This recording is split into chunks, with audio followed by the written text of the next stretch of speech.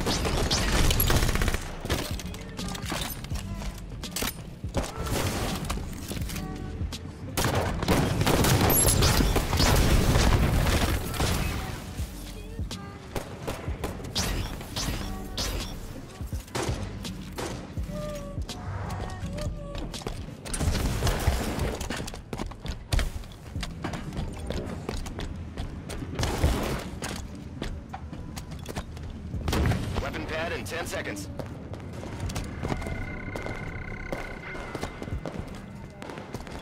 Red team nearing victory. Weapon pads up.